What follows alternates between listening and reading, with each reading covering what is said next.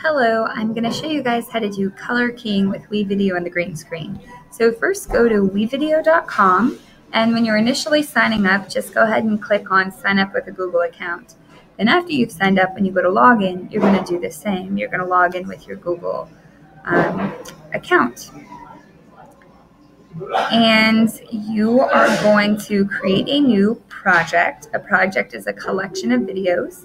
Next and go ahead and title it. So PSA.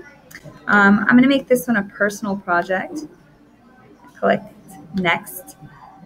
And oh, I can use other media from my previous project, so I'll use Mr. K there. Next. All right, and I'm going to create a video.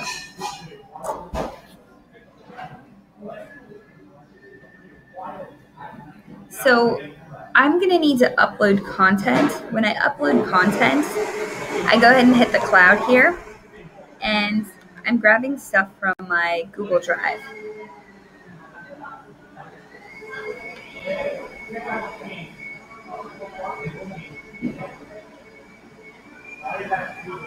Here's my endangered species folder in Google Drive, so I'll go ahead and add this uh, wolf here.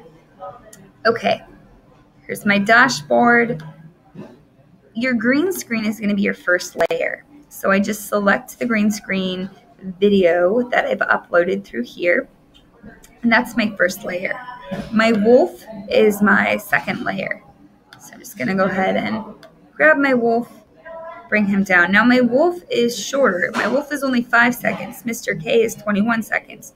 So I'm going to need three, or actually four wolves to take up the same amount of time because each wolf is five seconds. So Mr. K's speech is 20 seconds, so I need 20 seconds of wolf. All right, so now I have wolf in the back, Mr. K in the front, but we still see the green screen. screen. That's because we need to do the uh, color keying. To do the color keying, I'm selecting the video with Mr. K, selecting the uh, little pencil icon for edit. Here it is, pencil icon.